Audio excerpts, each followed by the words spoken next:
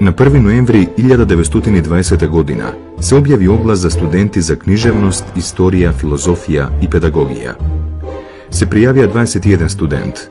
На 16 декември таа далечна 1920 година почна наставата во зградата на учителската школа и Дадија. Во првите 6 години на филозофскиот факултет се запишаа 118 студенти.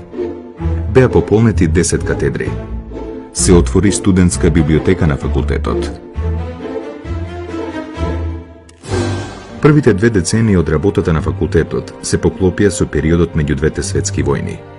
Во тоа време тешко се живееше. Луѓето беа сиромашни. Македонија беше под српска власт. Македонскиот јазик беше забранет, а српскиот беше во службена употреба на секаде, па и на филозофскиот факултет. Постоењето на факултетот ја разбуди националната самосвест кај младите луѓе. Настаните оставија белег врз оние кои растеа во тоа време. Доказ за силното влијание врз нивните ставови е една од првите докторски дисертации од 1962 година. Еве шо, шо на што сум докторирал. Кога предложив на професор Любен Лап и што ти требаше тоа знаеш што може да повлече таа Ве молам, професори, сета одговорност се прифаќам врз мене, а нека повелат научниците. Нека кажат една работа дали не е така како што од изворите нивни су ми употреби. Околу 1800 студенти дипломираа до 1941 година. Тогаш факултетот доби наредба за затворање. Почна Втората светска војна.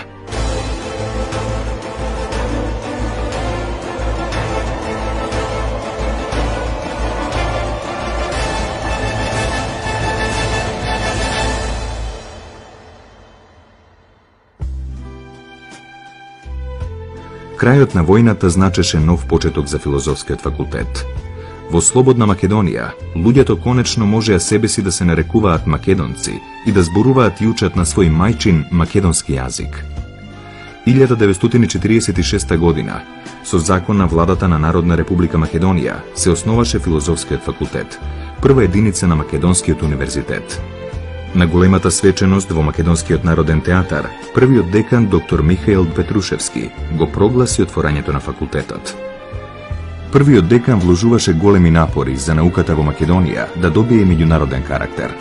Во 1950 година почна издавањето на научното списание Жива антика, кој денес се дистрибуира во 234 библиотеки низ целиот свет.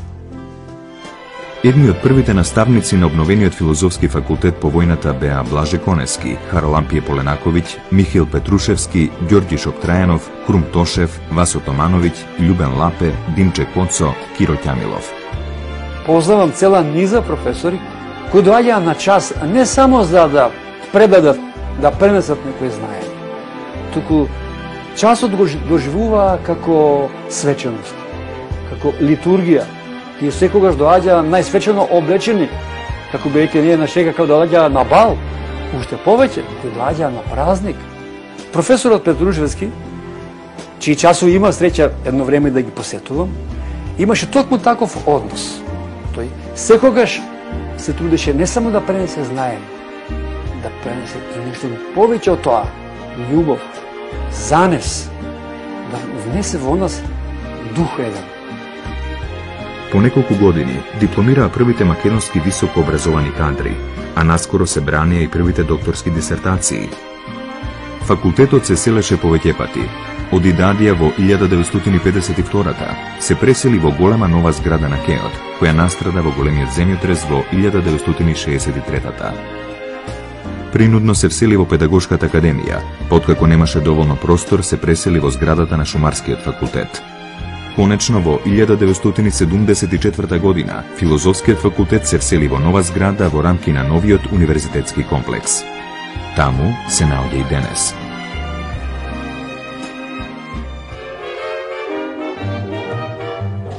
Во времето на еднопартискиот систем, за 45 години постоење, факултетот постојано се прилагодуваше на бурните обштествени промени ја усогласуваше наставната дејност со обштествените текови и беше место каде што се негуваше прогресивната мисла. Во 1977-та наставата почна да се реализира според нови наставни планови и програми. Во последните две децени од постоењето на Социјалистичка Федеративна Република Југославија, факултетот се отвораше кон светските трендови. Посетите на странски професори и филозофи, поставувањето на уметнички инсталации и театарски представи, беа знак дека новите ветришта најпрво задуваа на филозофскиот факултет. Со ова се најавуваше подготвеност за големите промени кои следуваа. Да ви честитам слободна, суверена и самостојна Македонија. 1991 година Македонија стана самостојна. Дојде до големи промени на обштествениот систем. Почна нова фаза во развојот на високото образование.